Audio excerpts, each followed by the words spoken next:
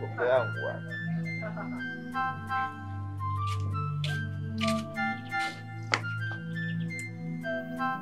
Mi najua tu kuna mwanamke mwingine na ndio maana unanifukuza. Mimi mbona sijakufukuza, lakini nimekuelewesha vizuri tu hmm? Samani jirani, kulikoni bwana? Shemeji, Na sisi kila siku tunakula vizuri, tunalala vizuri. Leo ananibadilikia, anataka nirudi kwetu, kusingizia ugumu wa maisha unasababishwa na kuzini kwetu. Kweli shemeji, naingia kilini Wangapi wenye ndoa zao wanalalamika ugumu wa maisha?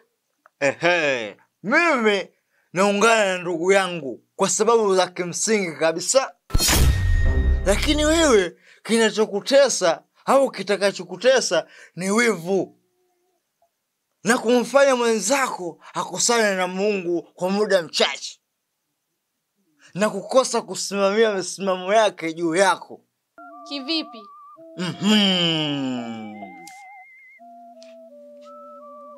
Nyinyi mnalala na pepo pepo bawa mm, nani pepo la zinaa kila siku na kuamka nalo, sielewa si hivyo, itakuwa ni ngumu hata kufanya maombi kwa sababu ya uchafu mnaoufanya. So basi wasikie mi nawasikia kila siku hapo ngwengwe kila siku nawasikia. Zinaa ni dhambi. Zinaa inasababisha kuenea kwa magonjwa. So kama pombe sio dhambi, hapana. Tunaelewa sio? Kama kweli anakupenda atakuja kwenu, lakini ukisema uendelee kung'ang'anikia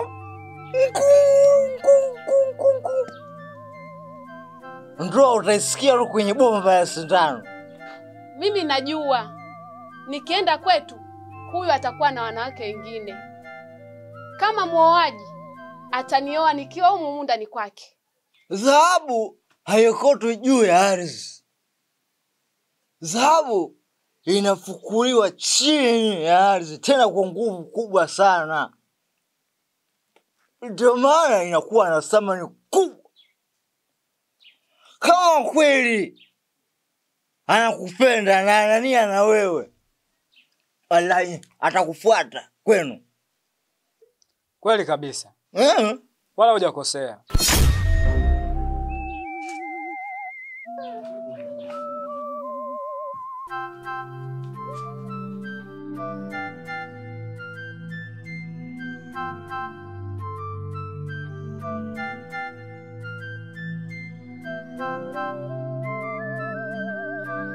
喂，什么意？